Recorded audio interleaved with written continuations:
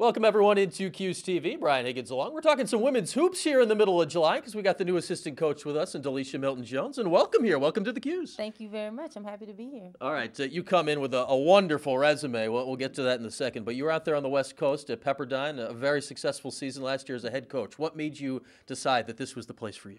Well, when Coach Q came to the table with the offer, it was one that I had to ponder over for a while, and we explored a lot of different things and in the end, it was the best situation for me as a coach, as a young coach in the game, mm-hmm. coming into an environment where this this program is successful, mm-hmm. and he is a seasoned vet. So it's an opportunity for me to learn a lot in a short period of time, and I'm excited about that. Excited about being able to work with a different level of talent to recruit on a different level and pit myself against others in the ACC or the SEC mm-hmm. who are all vying for top talent. Well, you played in the SEC. Now you coach in the ACC. What, what's it like for you to be back, I guess, at that top, top level of college basketball? I love it. I love it simply because the level of competitiveness that permeates through all of the coaches when you see them on the recruiting road, mm-hmm. or just off of the pure fact that everyone in the ACC knows that this is a prominent league, and uh, whoever can come out the winner, mm-hmm. you have done something spectacular. All right. Well, that's why you wanted to be here. Here's why Q wanted her here. How about this resume? National Player of the Year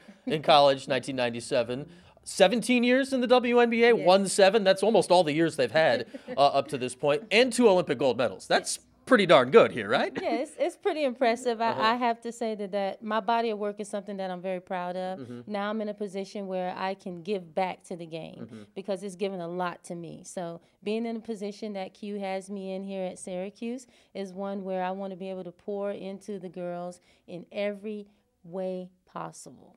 That's a pretty good thing you can tell to the current players, to recruits, to whomever the experience is you have. How much does that all build in? When, when you're a professional basketball player for as long as you were, that, that's got to give you invaluable experience. It definitely does. Being able to have conversations on a deeper level, nothing superficial anymore. Mm-hmm. Now, when you come and you're going after kids that want to be pros, that want to be future Olympians, that mm-hmm. want to have a professional career internationally, now I can come to them and say, okay, not only was I there, but I conquered, and I can show you you know, and we can groom you on a daily basis. So with the knowledge and the experience that Coach Quentin has, and with the knowledge and experience and um, energy that I have, mm-hmm. you know, I think that it is a recipe for success for any player that is considering us and any player that is here under Coach Quentin's realm two golds for you, as we said. What was that? 2000 and was that Sydney, and then uh, 08, 08 in Beijing. Mm-hmm. What, what are those experiences like to win? Obviously, but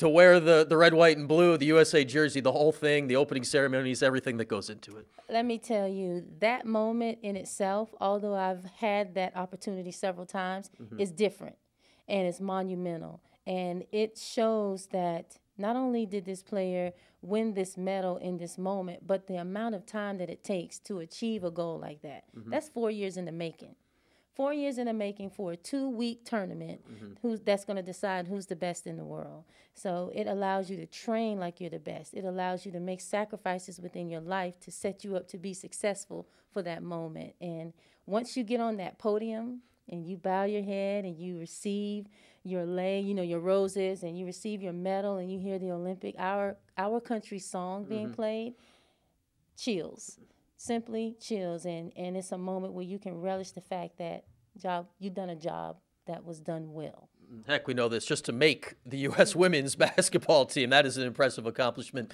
uh, just in itself, as obviously they've been the best team uh, year in and year out. As uh, we're here with DeLisha Milton Jones, the new assistant for women's basketball, and you're in the mix now. Workouts underway. You're getting to work with the young ladies here a little bit. What have you seen so far? What's it been like to actually see them out on the court a little bit? It's a lot of talent in the gym, and I'm able to just sit back and watch and just be a dry sponge and soak up everything that is going on within this environment. Mm-hmm. I watch the girls. I watch watch Coach Q, and I'm trying to figure out where will I fit in best. Mm-hmm. And I think now is a moment for me to to really be a student of the game and a student of this situation that I'm in, and really figure out how I need to maneuver within it. But under Coach Q's leadership, I know that I'm not going to have any problems. And uh, unfortunately, one player you don't get to coach this summer is uh, Tiana. We know Tiana Mangakahia was uh, shockingly diagnosed with breast cancer about a month ago. It was right after you got hired, mm-hmm. actually. But what's your interaction been with her, and uh, what's it like to watch her, her, fight right now? Tiana is such a sweet young girl, and for her to have to go through this battle that she's going through right now,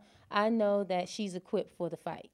And she's tough, she's tenacious, and if her resolve matches her play on the court, she's going to be just fine. And she has a community that's supporting her. She has a program that's supporting her, and she definitely has a coach that supports her. Well, we're certainly wishing uh, Tiana the best. Wishing you the best as well, DeLisha. Welcome again to Syracuse, and I look forward to having you around. Thank you. Let's go Orange.